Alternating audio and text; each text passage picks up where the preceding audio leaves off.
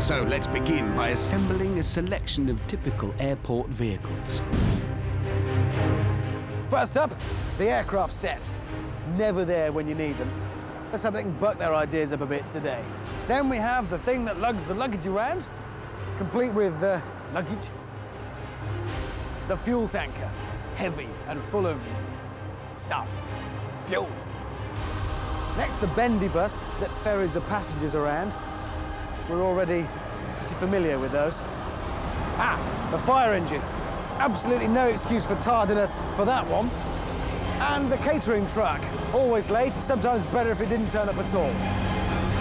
And finally, the heaviest beast of all, the aircraft tug. So, there we are. A group of machines that normally trundle around at a snail's pace. But just think how much faster the whole airport experience would be if we could speed things up.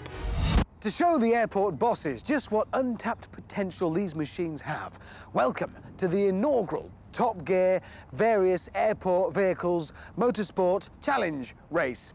Challenge. Our venue for this groundbreaking event is London's Heathrow Airport, just outside London. Normally, it is a lot busier th than this, but the people who run Heathrow closed it for the day. And they've moved all the jumbos and the terminals off to the side, out of shot. They have. That's what they've done. So, with that taken care of, all I need now are some drivers.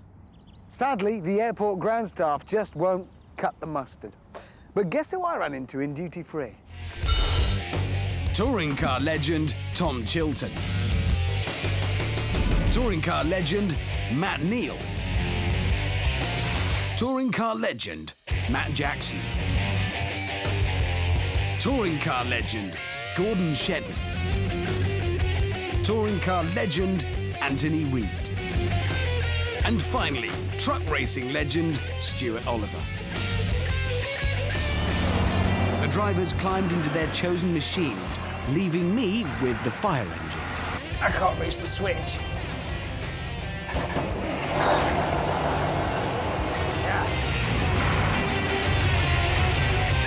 All of these vehicles have very different engines and what have you.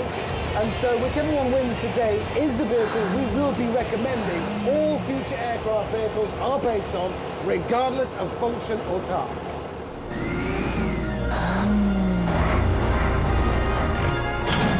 Is a pretty serious scientific experiment, so I have stressed to the other drivers in the strongest possible terms.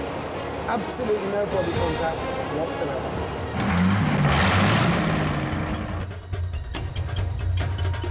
We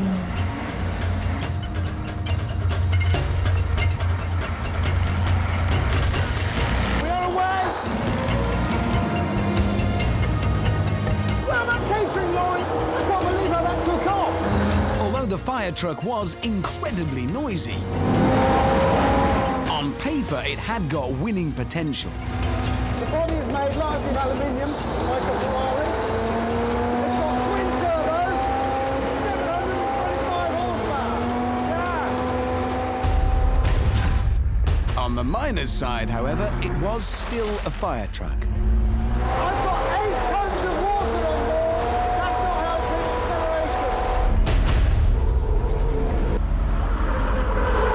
Very soon, I was falling back. The catering truck's ahead of me. The fuel truck's ahead of me. Oh no! I mean, what good would this be in an emergency situation if the bloody catering truck gets there before the fire engine? And predictably, with me out of the way, the touring car boys were ignoring my strict no contact rule.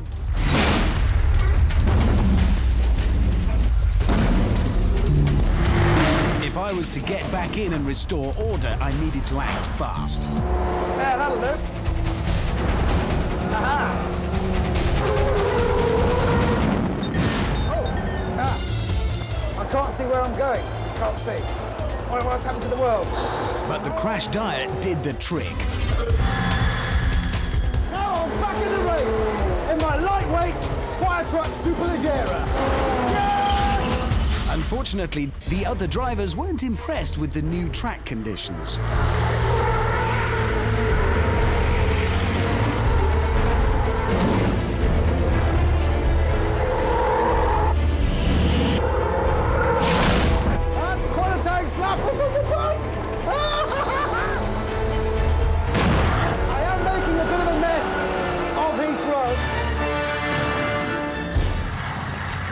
Laps into the race and no clear winner was emerging. The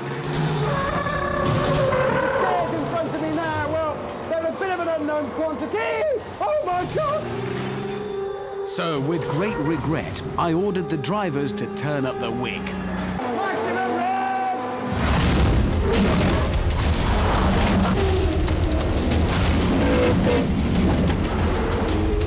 And pretty soon the results started to come, with the fuel tender taking a pretty serious kicking from the catering truck.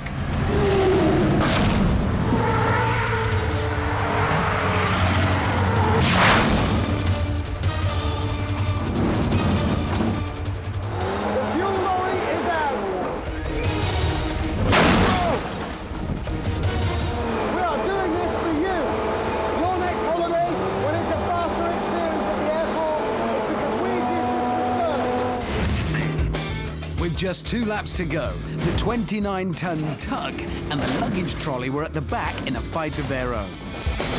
And following an accidental maneuver by me, Whoa! the bendy bus was now crippled, meaning it was now all down to me, the catering truck, and the stairs. Correction, make that me and the catering truck. Which, as we entered the final lap, had suddenly changed tactics. Whoa! What's he done with that? What he'd done with that was genius.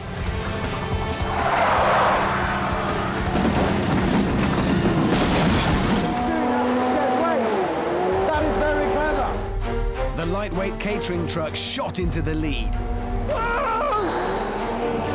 The racing driver, being a racing driver, had forgotten about the laws of physics.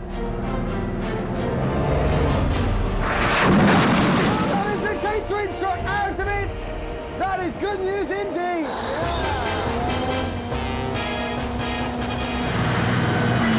Ah, There you go. So, airports of the world, take note.